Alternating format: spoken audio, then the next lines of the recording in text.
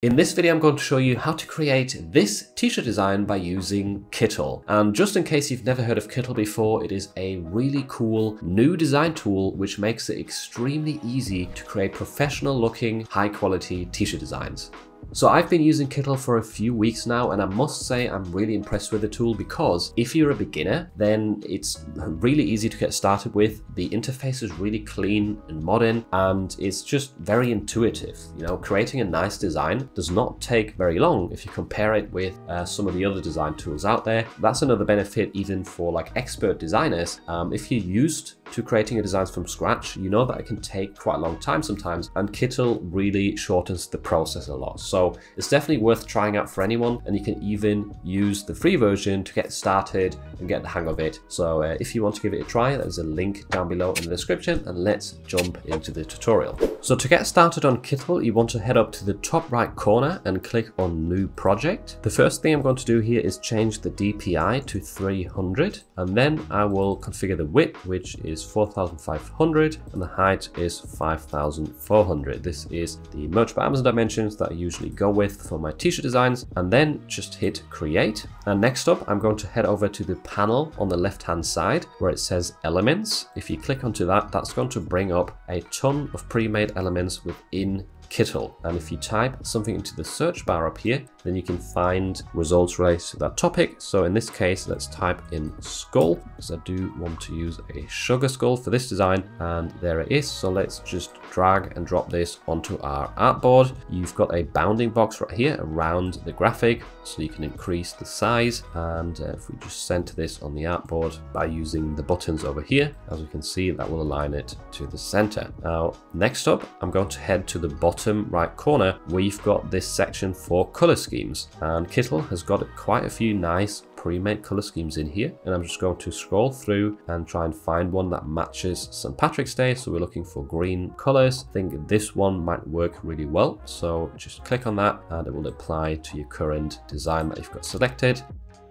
The next thing I want to do is add a hat to this skull to make it look more St. Patrick's Day themed. And for that, head back to the Elements tab and we go to search Irish up here to get a lot of Irish themed graphics. Obviously there's a lot of clovers, there's beer mugs, which is very suitable uh, for St. Patrick's Day, but there's also a lot of hats right here that you can choose from. Uh, I quite like this option right here. So you can drag and drop it onto your artboard, increase the size with the bounding box once again, and uh, you can center the graphic once again over here with these buttons. Now the colors don't match our skull, but we can quickly fix that by heading up to the top right corner right here uh, where it says object colors. You could click on one of them and then you can either choose from the document colors or you can use the color picker to quickly sample a color from your design. So let's say the darkest color, we want to use this one. Then the hat, um, the main part of the hat, we go into sample the lighter green right here and the clover I think what I'm going to do with the clover is I will sample the same green but make it a bit brighter like this so it stands out a bit more.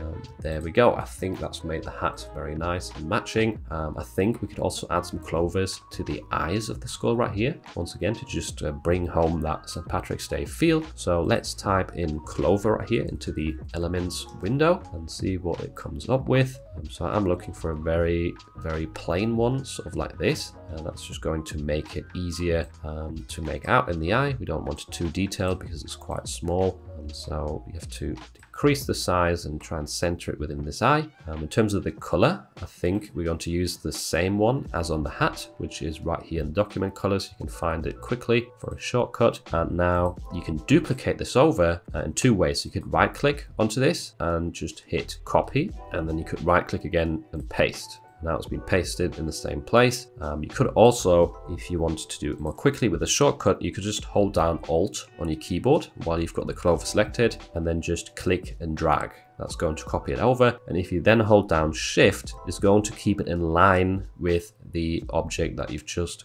copied. Next up, I'm going to add a background color to our design because I'm actually planning to use this on a green t-shirt, obviously suits St. Patrick's Day. So in the bottom right corner, you've got this layers tab. If you click on that, you can see all of the different objects in your design. You can hide them like this. And also you have got the background layer. So if you select that, you then get these options right here at the top and you can change it from white to a different color. So let's choose a nice looking green, um, which might represent the t-shirt we're going to upload to afterwards. And then we can click out of this. The next step I wanted to take here is to make it a bit easier to place text on our design because right now we've got this massive skull with a very big hat and it just makes it awkward to have text along the top or bottom or even next to it. There's just not very much space. So what I want to do instead is I want to take this entire skull and have it three times in a row. So first of all, I'm going to size it down a little bit and then hold down Alt while having everything selected and click on the skull and then drag it over, hold down shift to keep it in line and drop it very closely next to one another. I want to do the same for the other side. So here we go. And I think I'm going to delete the hats of these outer ones because that's going to leave an opportunity for us to actually arch some text along the top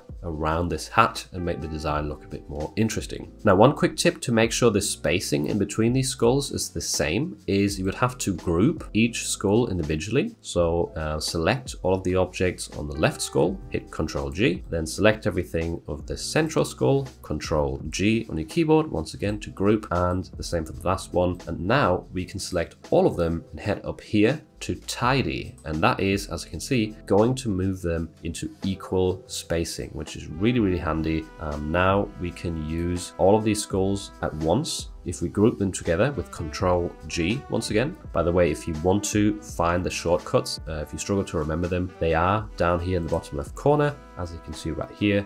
It says Control G group selected elements. The same keyboard shortcut also ungroups them by the way. So if you if you're sick of having them in a group and you need to select them individually, just hit Control G again. And all of the other shortcuts are here as well. Control Z is very useful for undoing your recent action in case you did something wrong. So definitely bear that in mind. Right here, the shortcuts are linked at the bottom. But once you've got all of these skulls grouped together, you can then hit the center button to center them on your artboard. So those are some useful useful tips right there just for tidying up your design. And the next step I want to take is actually adding some text to this.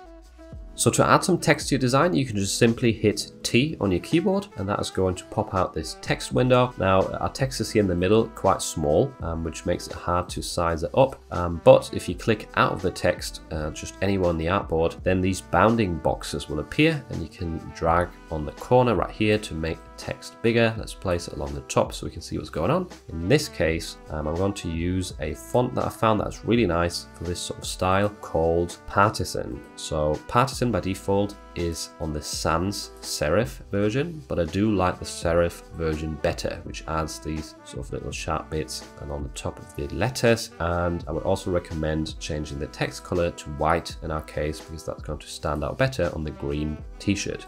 Next up, I'm going to type in shenanigans up here. And as you can see, that has made the box sort of too full. So you will have to sometimes adjust your box a little bit uh, by dragging it on the side right here. That's going to make the word um, appear in one line instead. And next up, I'm going to arch the text, which you can do right here in the bottom right. It's made very easy for you in Kittl. I do really like these transformation settings. So if you click arch, it is literally going to arch your text instantly. And you can also adjust the curve right here. Um, so how much the arch is actually affecting the transformation. Um, I'm going to drag this down a bit. I think it could do with being a little bit bigger. So you can also use this option right here to increase or decrease the text size on the right hand side. Um, now I'm going to just center this to make sure it's in the middle of our design. And the next feature that's really useful within the text settings is up here in the top right corner. So if we click on this little A plus symbol, it's going to open some shading effects. And I really, really like these. So for example, if we use this one right here, just click on that.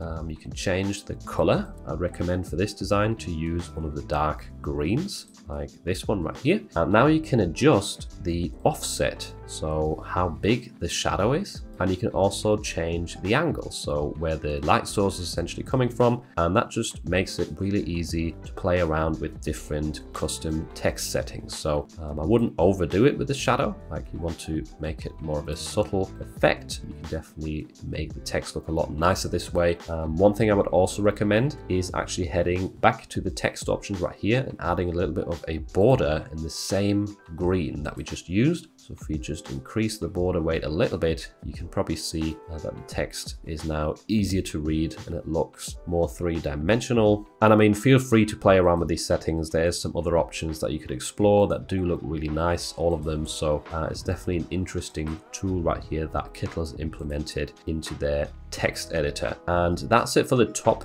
bit of text. Um, if you want to drag this down now and use it or use the same template essentially for the bottom, you can just hold down Alt on your keyboard and then drag this down once again to duplicate, hold down Shift to keep it in line. And then once it's copied over, you can click on this arch function again, and that is going to put it back into one line um, like the default. And I'm going to change this text to squad. So we've got the shenanigans squad right here, and let's make this piece of text a little bit bigger so it stands out a bit more at the bottom and fills out more of the space.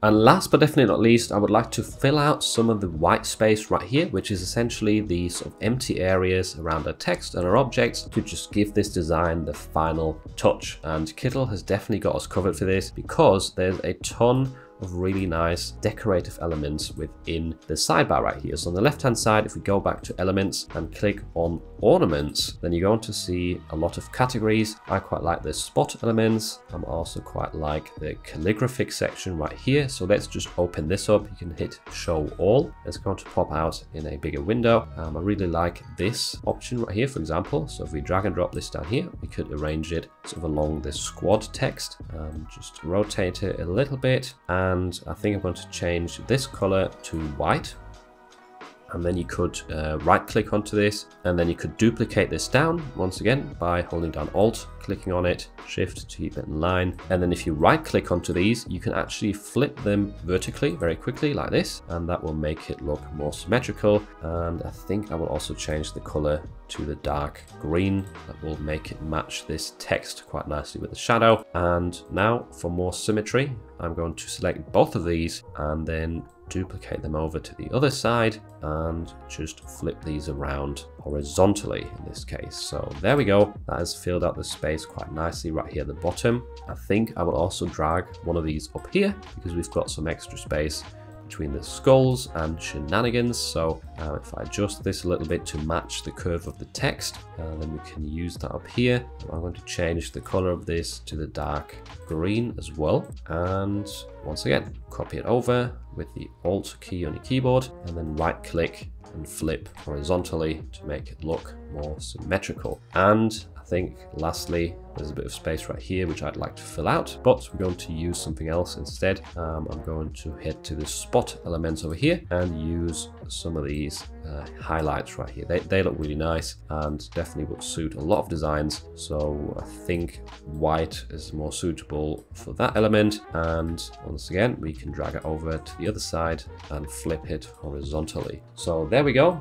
I think that's created a really nice looking St. Patrick's Day design. And the final touch I would give to this is actually some texture, which Kittl has also got you covered for in a really, really nice way. They've got some really cool preset textures and you can find them over here on the left hand side. Um, if you head to this little spotty button or icon, and if you click on that, you can see different categories. So we've got grunge, paper textures, pattern textures, loads and loads of stuff. I really like the crack textures. We show all of these. They, they do look really nice for t-shirt design. I'll give you an example with this one right here. Now, the preset settings might look a bit confusing, but essentially I would recommend changing this from color burn to alpha mask. I think that already makes a big improvement. And then if we clip the content, then as you can see, it applies the texture only to the graphics and the text on your design file, not to the background. That's definitely what you want to do. You want to hit this clip content